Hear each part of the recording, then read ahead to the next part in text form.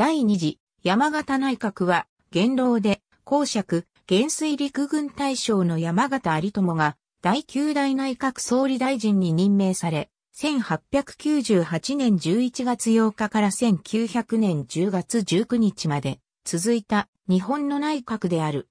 党内閣は組閣から総辞職まで一度も閣僚の交代がなかった。これは閣僚の交代がない連続在任期間として日本の歴代内閣で最長である。1898年11月8日任命。在職日数711日。1898年11月8日任命。内閣発足当初。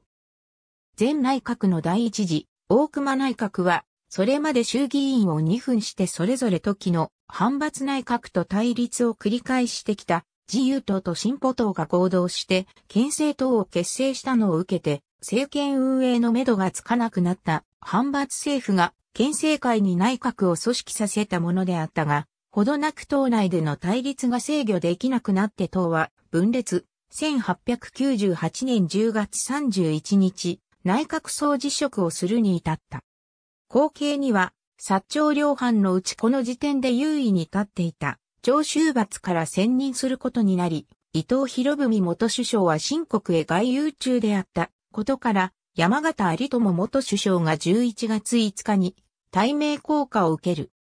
この時点で、県政会は、旧自由党が、党内クーデター同然に、県政会を、改党、再結成した同盟の政党、県政会と旧進歩党が対抗して結成した県政本党に分裂していたが、山形首相は議会対策として第二次伊藤内閣で連携した経緯のあった旧自由党と接近する。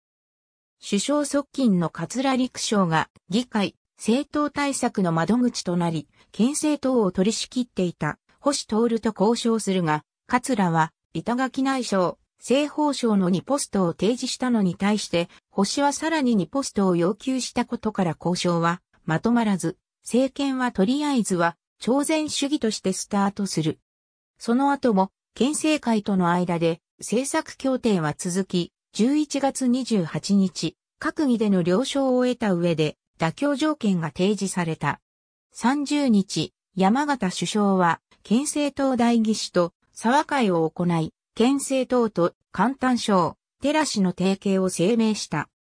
その後、山形内閣は県政党の連携を経て2年近くにわたり、安定的に政権運営を行うが、星らが要求した県政党員の入閣、あるいは閣僚の県政党への入党については、ことを左右にして認めなかった。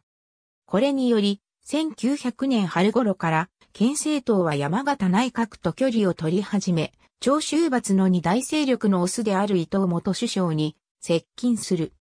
伊藤元首相はかねてから朝鮮主義の決別と政権担当能力のある国政政党の必要性を考えており、新党結成の準備を始めていたことから連携が成立、県政党は伊藤新党に合流することを決める。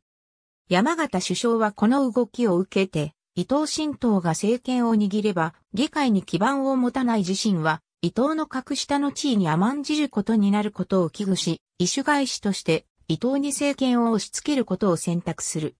伊藤新党の動きが本格化した8月下旬に、総辞職を表明、後継に伊藤を推薦した。かくして、伊藤は組閣と新党結成を同時並行的に進め、1900年9月15日に立憲政友会を結成、10月19日に第4次伊藤内閣を発足させる。ありがとうございます。